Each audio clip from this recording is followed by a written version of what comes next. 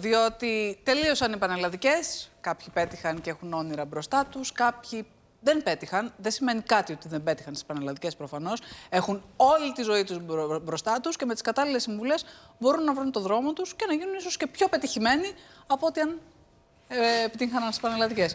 Ο κ. Κωνσταντίνος Κότιο είναι μαζί μας, σύμβουλος επαγγελματικής κατάρτισης.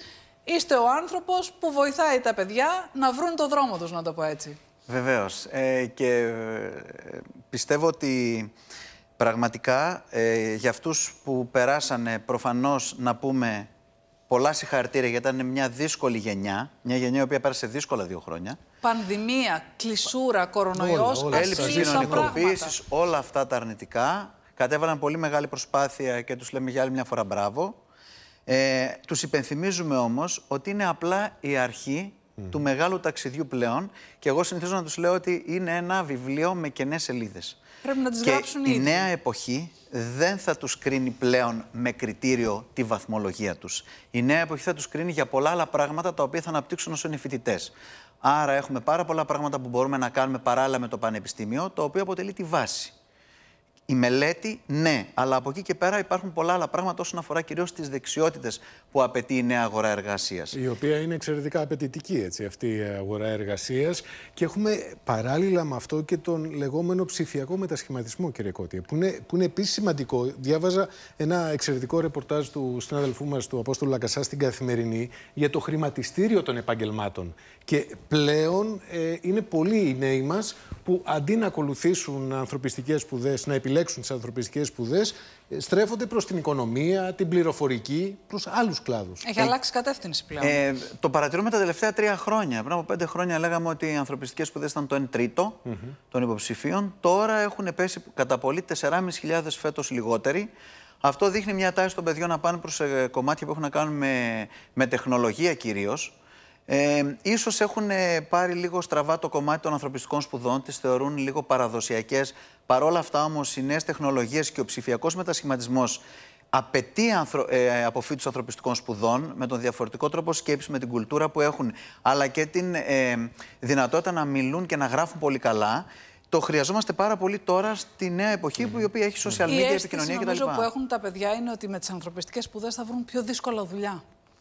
Το πτυχίο δηλαδή δεν είναι αυτό που ναι. θα σε οδηγήσει στο να εξασφαλίσει ναι. τα προστοζήν. Ή, ή ότι θα είναι μονόδρομο στο δημόσιο. Γιατί και εκεί έχουμε μια διαφοροποίηση. Εκεί ναι, είναι ευχάριστο ότι πρέπει να το καταλάβουμε. Δεν είναι πλέον ελκυστικό από ό,τι Δεν είναι ελκυστικό γιατί δεν το βλέπουν μπροστά τους. Ναι. Δηλαδή το να ε, τελειώσω με μια φιλολογία και να διορθώσω στο δημόσιο είναι όνειρο.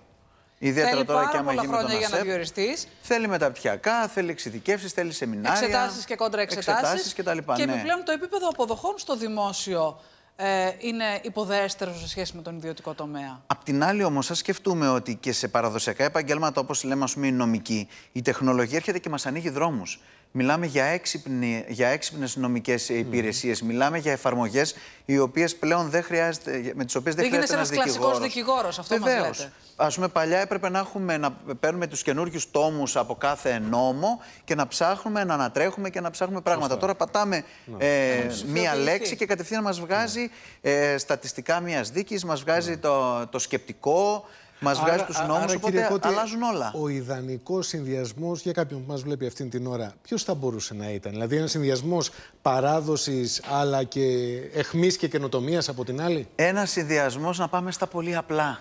Ποιος δηλαδή... είμαι εγώ; Τι μπορώ να κάνω εγώ; Μάλιστα. Τι δεξιότητες έχω; Είμαι επικοινωνιακός ή όχι; Είμαι πρακτικός, πιάνω τα χέρια μου ή όχι; Και εκεί ανοίγει η κουβέντα ότι αν πιάνουν τα χέρια μου, δεν θα ήταν κακό να επιλέξω και μια ε, μια σχολή ας πούμε, η οποία ήταν πρακτική εντελώς. Ναι. Δηλαδή, ακόμα και κάποια ΙΕΚ μας δίνουν τέτοιες δυνατότητες, όπως το ΙΕΚ Μηχανοτρονικής για παράδειγμα, ναι. ή κάποια που έχουν να κάνουν με την πληροφορική. Άρα, ποιος είμαι εγώ, τι μπορώ να κάνω, έχω τέτοιες δεξιότητες; Και να μπω με μια λογική ότι πού είμαι καλύτερος, πού τα μαθήματα μου αρέσουν λίγο περισσότερο και πού φαντάζομαι εγώ τον εαυτό μου στην αγορά εργασίας του μέλλοντος, κρατώντας και την υποσημείωση ότι σχεδόν τα μισά επαγγέλματα της επόμενης δεκαετίας δεν μπορούμε να τα προβλέψουμε σήμερα. Σε δημόσιες δομέ. Το πιο σημαντικό είναι αυτό. Αλήθεια. Το πιο σημαντικό Αλήθεια. είναι Άρα... η μετεξέλιξη της αγοράς Αλλάζει διαρκώς και αλλάζει πάρα πολύ Άρα γρήγορα. Πώς θα προβλέψω εγώ πού θα δουλέψω στην πορεία, Τι είναι πιο σίγουρο, Ποιος είμαι εγώ; Τι μπορώ να κάνω εγώ, ποιες είναι οι δεξιότητές μου.